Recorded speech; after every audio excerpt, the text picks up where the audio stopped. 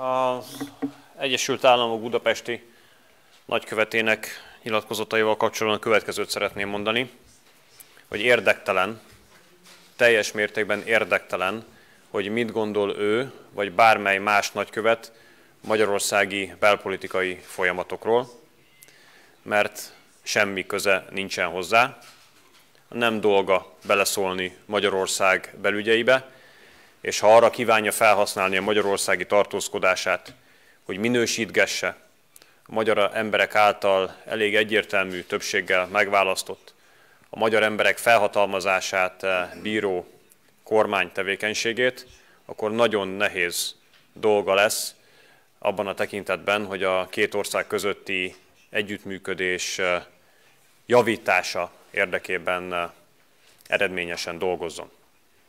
Mert mi, amikor nagyköveteket fogadunk, akkor a szó szerint értjük.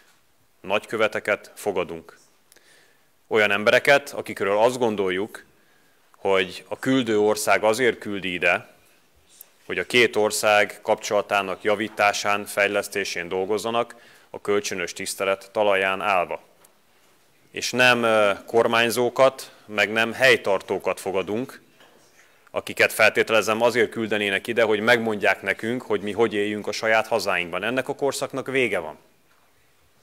Magyarország egy szuverén ország. Nekünk senki nem mondhatja meg kívülről, hogy hogy éljünk. Ezért aztán érdektelen, hogy más ország állampolgára, legyen az egy nagykövet is, mit gondol magyarországi belpolitikai folyamatokról. Majd a magyar emberek eldöntik, hogy a kormány jól dolgozik-e vagy sem, elégedettek-e vele vagy sem, és a soron következő parlamenti választáson ezen akaratukat kifejezik, mint hogy kifejezték az elmúlt években is elég egyértelműen, még akkor is, hogyha a világ más tájairól, talán onnan is, ahonnan a nagykövet úr érkezett, ezzel ellentétes döntéseket próbáltak meg inspirálni, sőt, akár még finanszírozni is.